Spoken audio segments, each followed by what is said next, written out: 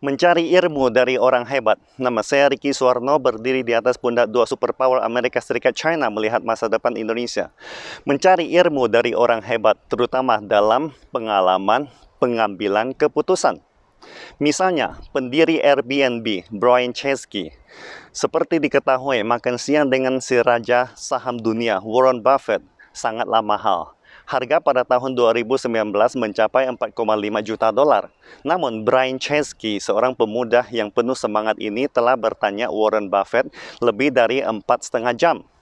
Tetapi tidak membuat salah satu orang terkaya di dunia ini terganggu sama sekali. Sebaliknya, Warren Buffett sendiri yang menawarkan untuk mentraktirnya makan siang. Brian Chesky justru tidak mengeluarkan uang sepeser berapapun. Ingin tahu bagaimana anak muda ini mencari ilmu dari orang hebat seperti Warren Buffett? Berikut adalah beberapa tips dari Brian Chesky.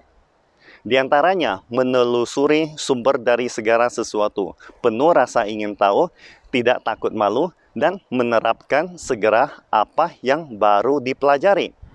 Setiap kali Brian Chesky meminta nasihat, dia akan mempelajari dan menentukan siapa orang yang paling hebat di bidang tersebut. Baru kemudian belajar langsung dengan orang itu. Cara ini sebenarnya sangat direkomendasikan oleh mantan Menteri Pertahanan Amerika Serikat bernama Robert McNamara.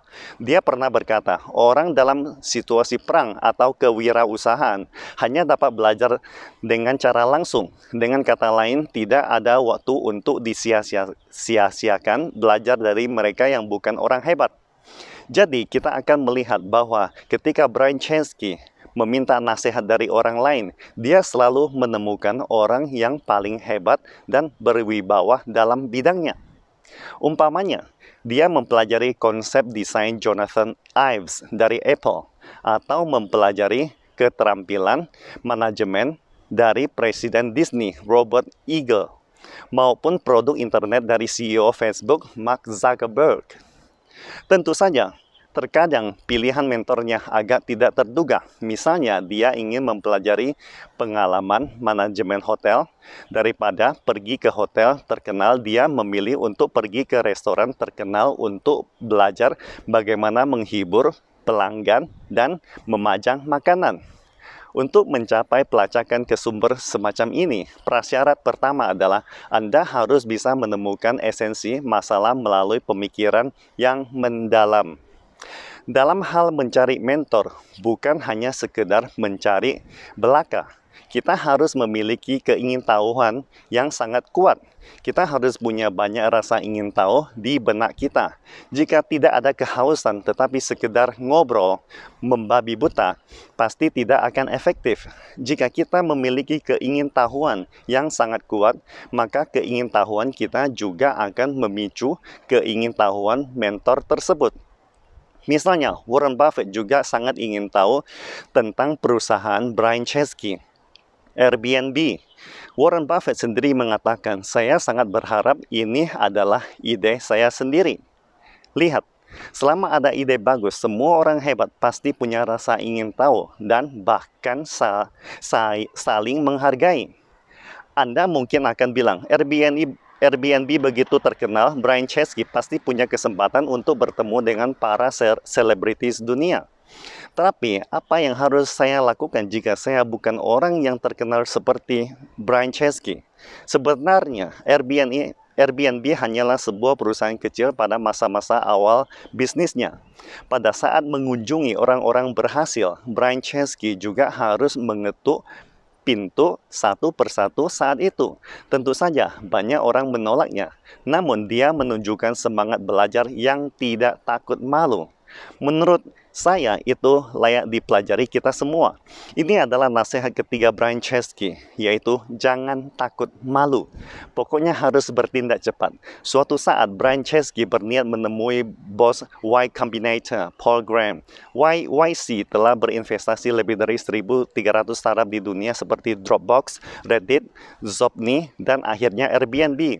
Tentunya Paul Graham adalah orang yang sangat sibuk. Untuk mendapatkan kesempatan bertemu dengan Paul, Brian Chesky memikirkan segala macam cara, seperti tiba di kantor Y Combinator paling awal untuk memblokir Paul, Paul Graham di pintu kantor hanya supaya dapat berbicara satu dua kata. Mereka tidak pernah merasa takut atau merasa malu. Mereka lebih rajin belajar dan berani bertanya dibandingkan yang lain. Anda mungkin bertanya, bukankah ini sangat menjengkelkan? Sebenarnya, semua orang hebat berasal dari orang biasa yang tidak berpengalaman. Ketika mereka melihat orang-orang yang sangat berani dalam mengeksplorasi dan tanpa lelah mencari jawaban, mereka mungkin juga menghargai dan membantu mereka dari dalam hatinya. Kesimpulannya, setelah kita mendapat saran dan dari mentor, sebaiknya kita segera mengimplementasikannya Tujuan meminta nasihat dari mentor bukanlah untuk mengobrol, tetapi untuk mempraktekkannya. Misalnya, setelah bertemu dengan Warren Buffett, Brian Chesky langsung menulis laporan sepanjang 3.600 kata untuk dibagikan kepada anggota tim. Segera setelah tiba di bandara. Selain itu, dia segera menyalin pengetahuan yang diperoleh dari mentornya ke seluruh tim perusahaan. Misalnya, dia mengadakan kegiatan serangkaian minggu malam untuk merangkum pelajaran yang didapat selama seminggu. Contoh lain, dia akan berkomunikasi dengan seluruh karyawan perusahaan melalui email, mengizinkan karyawan baru untuk berpartisipasi dalam rapat Q&A selama satu jam setiap minggu, dan seterusnya. Ada investor lain bernama Cherbel dia sangat memuji Brian Chesky dan berkata dia tidak akan menghabiskan banyak waktu untuk memikirkan konsekuensinya. Sebaliknya, bertindak sangat agresif.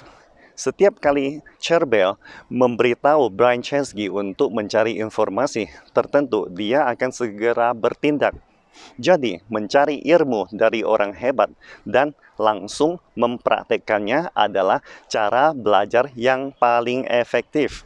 Sampai Steve Jobs pernah mengatakan, perbedaan terbesar antara orang yang benar-benar berniat melakukan sesuatu dan mereka yang hanya bermimpi adalah apakah mereka dapat langsung bertindak. Steve Jobs sendiri sangat suka bertanya langsung kepada orang-orang yang paling hebat di dunia dan di bidang tertentu. Dia sama sekali tidak peduli jika dia bakalan ditolak atau tidak. Pastikan Anda subscribe dan follow akun ini supaya senantiasa mendapatkan info terbaru tentang teknologi terkini AI berkaitan. Salam Indonesia Maju!